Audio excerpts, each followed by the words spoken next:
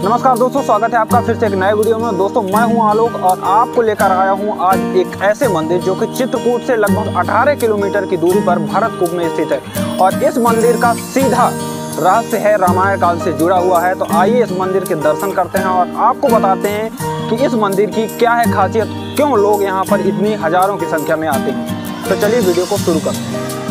दोस्तों इस मंदिर के अंदर एक ऐसा कुआँ स्थित है जहाँ पर बताया जाता है कि भगवान श्री राम के राज्य राज्याभिषेक के लिए इसी स्थान पर चारों धाम का जल लेकर भरत जी आए थे। तो चलिए इस मंदिर के दर्शन करते हैं अंदर की ओर प्रवेश करते हैं दिखाते हैं आपको वो कुआँ जो कि एक रहस्यमयी कुआँ है। तो, तो ये है मंदिर का पूरा नज़ारा आप देख सकते हो कि ये पूरा मंदिर कितना भव्य मंदिर है और यहाँ पर लोग हज़ारों की संख्या में हमेशा आते हैं और अभी तो मेले का आयोजन किया जा रहा है जहाँ पर सभी लोग आ रहे हैं इस मंदिर को देखने के लिए, इस कुएँ को देखने के लिए। तो चलिए और आगे इस कुएँ को दिखाते हैं। ये पूरा कुआँ है, जहाँ से आप देख सकते हो यहीं। तो दोस्तों, आप देखते हो कि ये है वही पूरा कुआँ जिस कुएँ के रहस्य के बारे में हम आपको बताने के लिए लेकर आए हैं। और ये पूरा कुआँ, आप देख सकते हो कि अभी यहाँ पर कैसी चीज़ें हैं।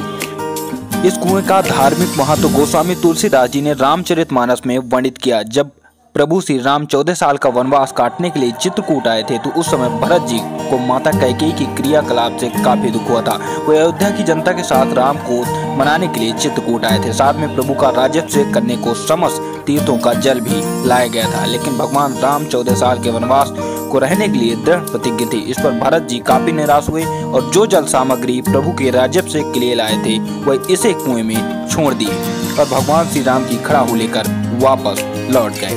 तो दोस्तों ये कुआँ के रहस्य आपने समझ लिया है। तो चलिए आपको इस मंदिर का दृश्य भी दिखाते हैं।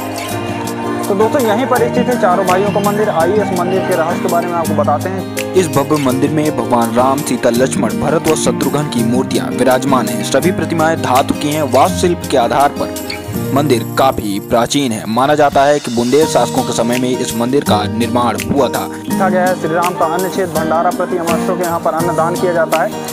और ये पूरी परिक्रमा है जहाँ पर लोग परिक्रमा करते हैं और आपको दिखाते हैं ये पूरा मंदिर है। अंदर यहाँ ये, अंदर इसी स्थान पर देखिए चारों भाइयों का मंदिर बना हुआ है और यहीं पर सभी लोग आते हैं और दर्शन करते हैं और इसी स्थान का विशेष महत्व तो है। रामायण काल का यह मंदिर आज भी लोगों में चर्चा का विषय बना हुआ है।